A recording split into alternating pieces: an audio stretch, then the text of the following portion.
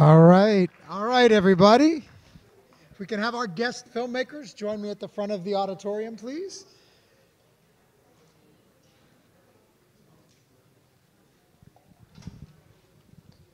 Share some mics.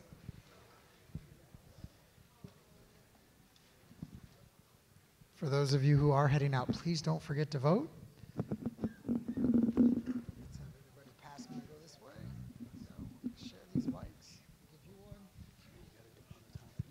All right, once we get all our guests down here, I'm going to ask each of you, please um, take turns introducing yourself, uh, the film you worked on, uh, and what your role was on the film.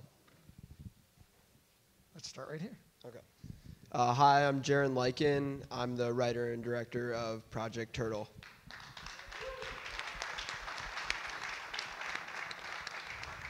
Hi, I'm Arman, and I made the film Choice. I'm Harlan Spector. I was a co-producer, co-director of American Heartbreak. Um, my name's Dale Amori, also with uh, American Heartbreak, co-director, co-producer. Hi, my name is Brian Lachowski. I'm the director of Man in the Box. Hi, I'm Patrick Grealis, and I'm the writer of Man in the Box. Hi, I'm Andrew Rudd. I'm the one of the collaborators in making and then directing and producing Rue. I'm Lee Will. I'm one of the producers of Snow Globe and the Cat. I'm Jean Zarzour. I'm Lydia in Snow Globe and the Cat.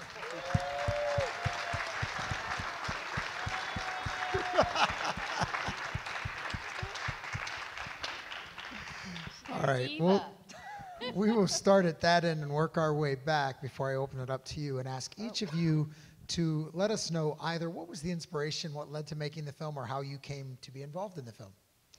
They were very desperate, and the 11th hour, really kind of.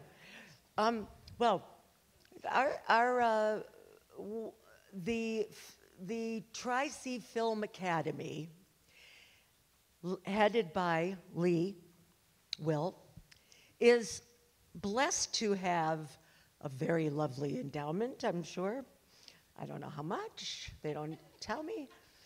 But James Matteo, who is a, a, an LA actor who relocated here to raise a family, very successful actor, had worked with our director, Rick Page, who is the director of photography for many Hollywood uh, television shows. He's also a writer and a producer, and he has agreed. Is it just the second time? That was the second, yeah. You can tell this better. anyway, wait. When they asked me to do it, I said, okay. So the purpose behind this with Tri-C is we are trying to build the film industry workforce here in Cleveland. So we take a group, a cohort of trainees and uh, train them for five weeks, and then the last week we shoot a short film.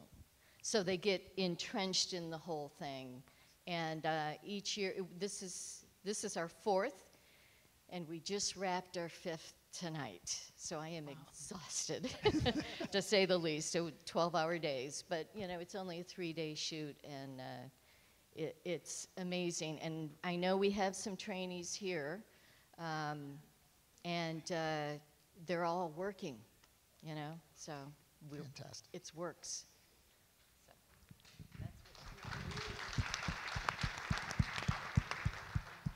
The beginning of the idea for Rue came in a meeting with um, a person who was at the time my student, Lawrence, who's sitting right over there. We were trying to come up with an idea of a student film he could make that year that would be short, easy, and fast to make. Um, so we put a survey on Facebook and asked people if you could go back in time to one moment, what would it be, and what would you want to do as a result? And we were kind of overwhelmed by the 23 different um, answers that we got. And so we shot it, and then a lot of things happened for a lot of years. Um, and, fi- and finally, um, I came back to the project and was able to finish it. Partly because I was super inspired by the ways that regret fuels our lives, and sometimes not in the best ways. Sometimes our regrets become a kind of fantasy. And, and I wanted to hold the stories not only of the people who submitted those responses, but also these terrific actors who I think of as being co-collaborators. They all um, gave a long story, and you can watch them all on Clearview Incorporated. Um, so.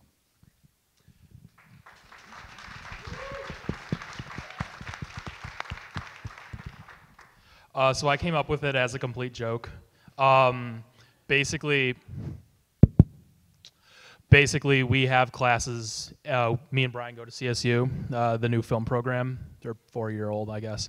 Um, we have classes where we're supposed to come up with like three story ideas, and usually what will happen is I'll have two ideas I'm really like interested in, and then I'll just come up with a third one to fuck with people. Um, and so, uh, sophomore year, I had two ideas I really liked, and then I was like, you know, it'd be really funny if I pitched a film about a mime who accidentally kills himself in front of the class, because I'm just, I'm just sick like that, apparently. But everyone loved that that concept over everything else, and just, I don't know, I just, just for just. I wrote the script and Brian loved it and I gave it to him because I wanted it out of my sight. He can tell you more about it. I was going to go into the artistic merit of it, but okay. Um, so, in fall of 2020, um, we didn't really have any production classes going on at that time. So, me and several other students, myself, uh, my producer Sarah Benny, who's out here in here somewhere, I don't know. Oh, hi. So we band together to make a couple micro short films with kind of like the same crew and like just like similar casts and stuff like that. And uh, I read Patrick's script and I thought this is this is this is pretty good. So we should make that. And that was one of the short films that we made for it. Yeah.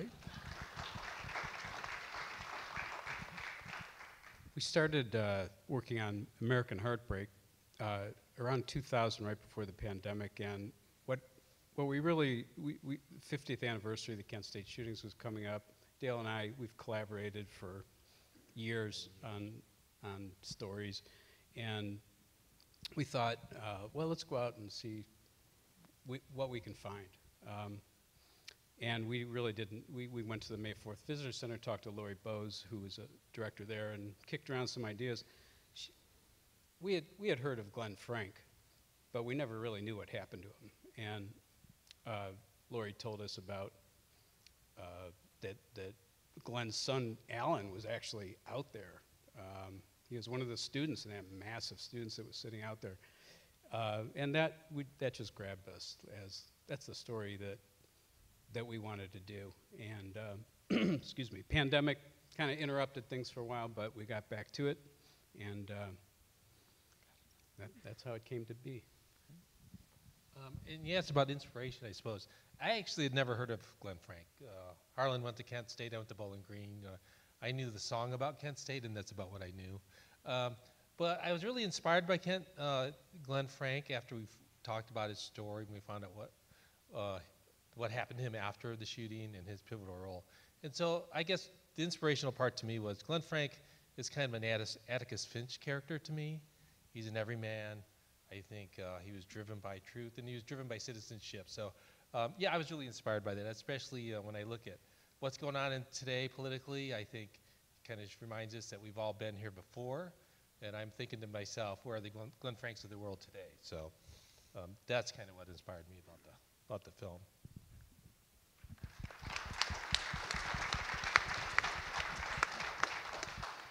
Um, well, I just started junior year in high school, and I hadn't made a movie for a couple of months, so I decided, um, let's get some friends together, let's find a script online, and let's shoot something, you know. And it happened that the day kind of turned out perfectly overcast, and a lot of things went wrong, but a lot of things went right. And I am just, you know, editing it in a weekend, and it was a really fun experience to do with a couple of my friends, and yeah. Um, for me, um, I first got into film at the start of the pandemic. um, early 2020 when basically all I could do was escape to the basement with my dad and figure out which movie we were going to watch next. Um, so I'm new to film, and this is my first bigger one that I've made. Um, and while I was just getting into film and learning how to make films, I was also becoming aware of the homelessness problem that was happening in America because people were losing their jobs and then becoming evicted. And there was this huge eviction crisis. And um, I can even remember back to one night when my dad and I went to uh, pick up uh, dinner from one of our favorite restaurants in Shaker Square. And uh, we passed a homeless couple um, that was sitting outside on a bench um, in the freezing cold, and snow was falling down on top of them.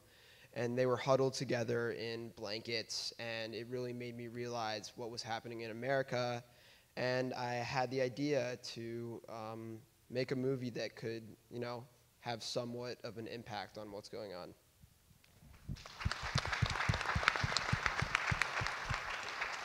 All right, let's get some questions from you. Yes, sir.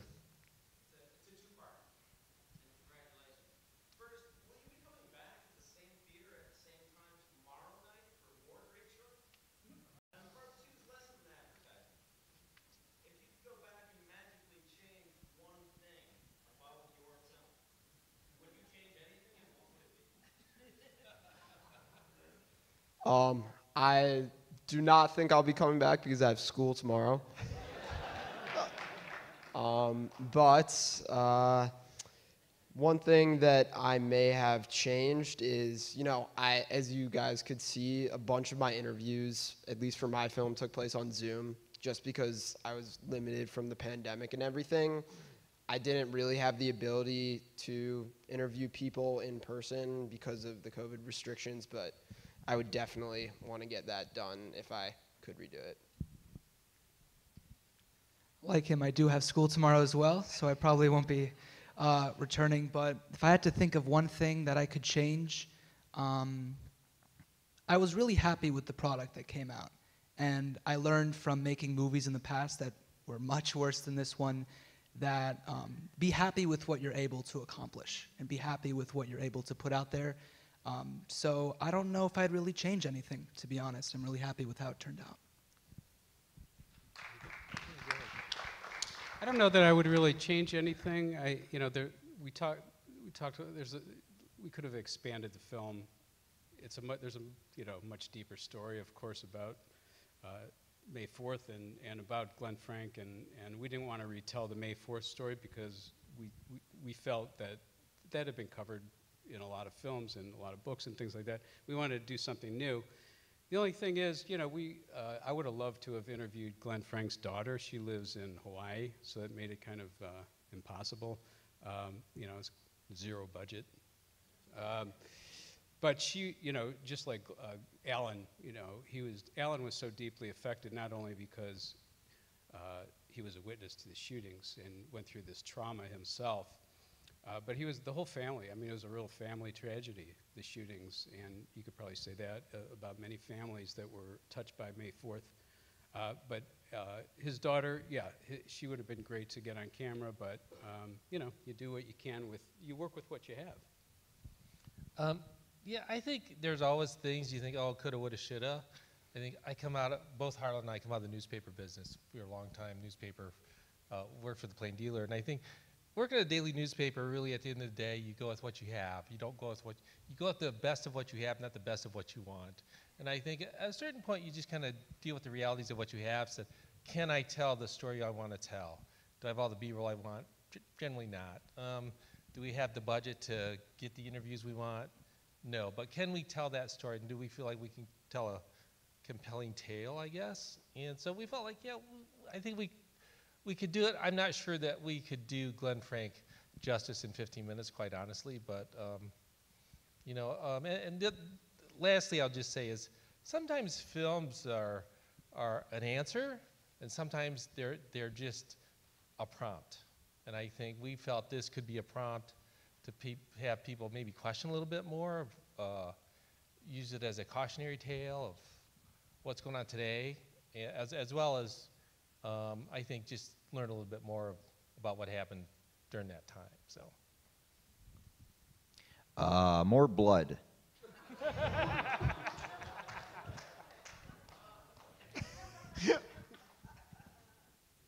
More blood.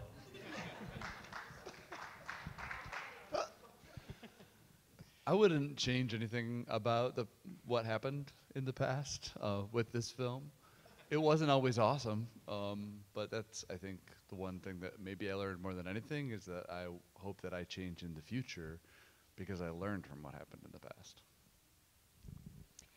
I too wouldn't change anything because it served its purpose and everybody had a great time doing it. Um, you may have some something you would like to change, but uh, I think your knee, which you did do, didn't you? I, I, that was going to be. We had an embarrassment of riches. I mean, the way the academy is being run and the, you know, what were there, 30, 35 crew members, Yes. student crew members. We have 15 students basically, and then we we um, bring in uh, industry professionals, and they mentor these students, and uh, they uh, they eat it up. It's just amazing to see. And my favorite part is tomorrow we have this. We wrap it up. Everybody loads out all their gear, but we do what I call the kumbaya moment. We all get in a big circle and they go around the room, and that's when I start crying. But, yeah, it's been wonderful. So I, I just had a second knee replaced two months ago. While we were shooting, this is two years ago now. You know, my knees were just bone on bone. It's all just like your where's the mime story? You could have, d- yeah. You're, need a little therapy, but other than that, it's a nice little surprise with the bones and the blood. Uh, that's kind of what my knee must have looked like under surgery. Yeah, yeah, really. I'm so sorry. Yeah, that's what I'm saying. So the crew, all of these young people helped me ice my knee. I mean, I was in so much pain. And because it was such a, it was better than some of the feature films I've been in, this experience. It just was a love fest. And everybody came together and, you know, just, it was beautiful. Um, um, Garage Creative uh, did the sound and all the, the editing for the film, and and I've worked with their one of their owners for ever, 30 years, and so I got to see people, the makeup. I mean, it was a big, wonderful thing. And then who knew we were going to be in lockdown? So I wish that my mother had lived to she died two years ago, and I wish she was here. So I was crying after the movie because an accomplishment is something, no matter how, what size, what the point of the accomplishment is, it's, it's very heartfelt. Making a movie is of any size is like, uh, you know, you put everything into it, your blood, sweat, and tears. And, um, you know, it's an emotional experience. It's, it's giving birth to something. And so I wish I had had my knees done and my mother was here and that we never had a pandemic. And bravo to all of you, because I really enjoyed, really, really enjoyed. And Dale, is that Dale Amori? Amari? I just did voiceover for you.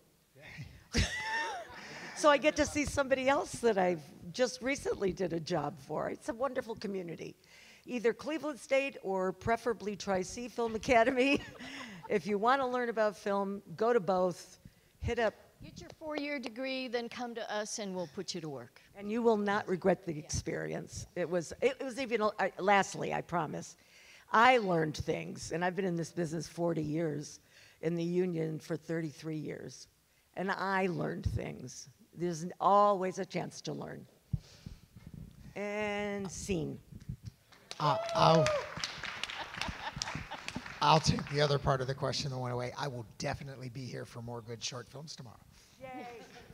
Yeah, Who's next? Over here. I'll be back tomorrow night. yes.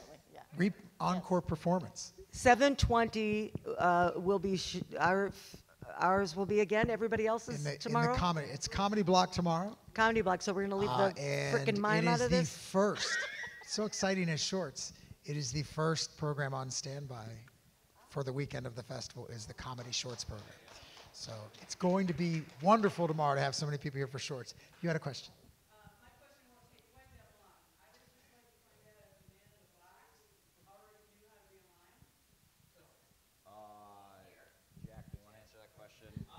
Jack, come down. And here comes the mime, but he's talking. Show us.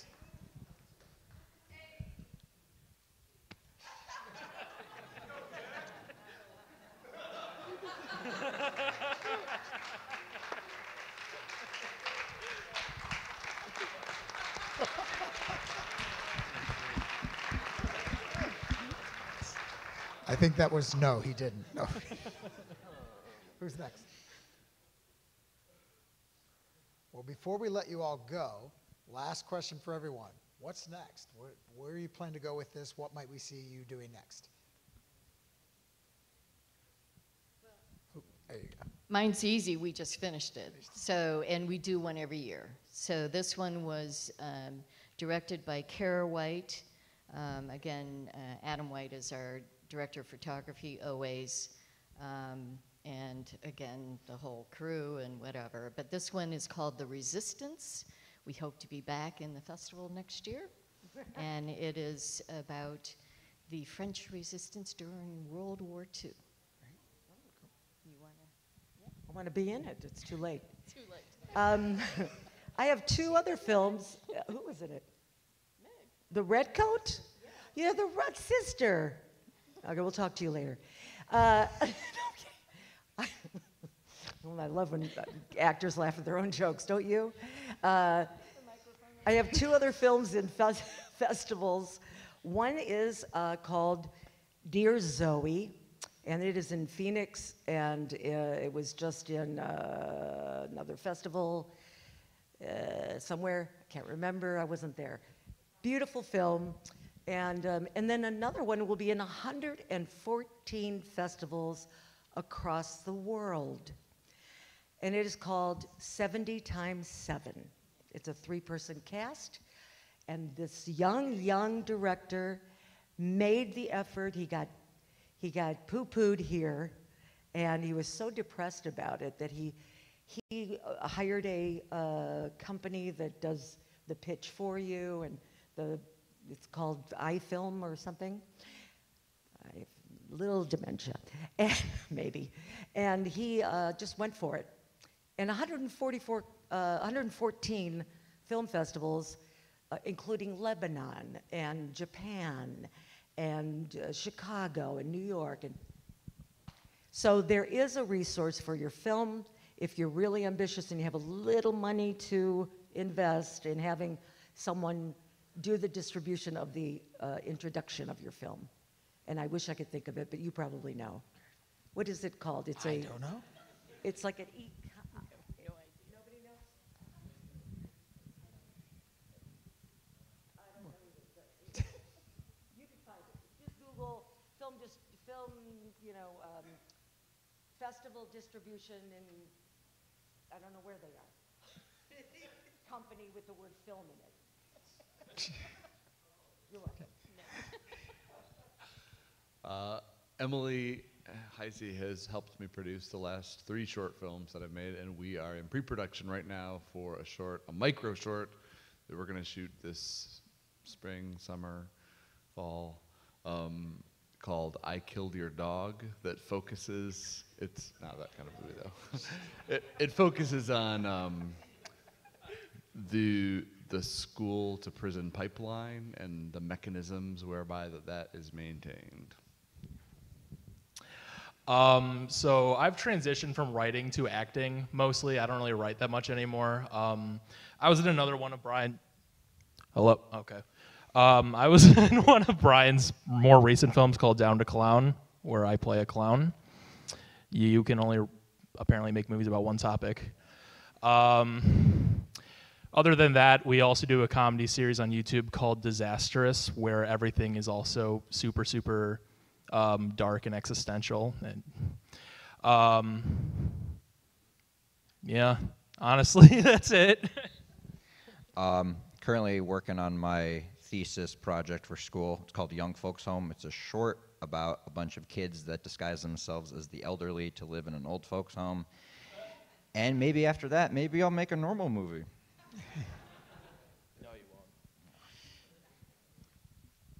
We're uh, talking, kicking around an idea for, uh, we actually started shooting today, yeah, um, about the people in the news business and the newspaper bus- business specifically.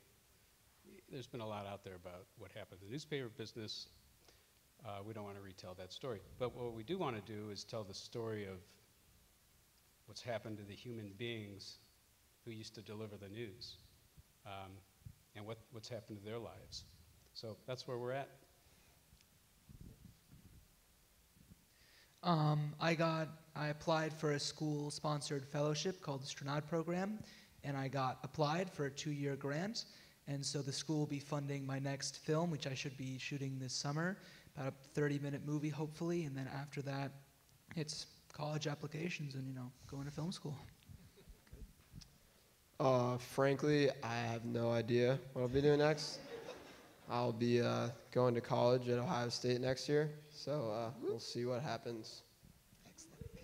Well, please join me in thanking our guest filmmakers for being with us. Thank you all so much.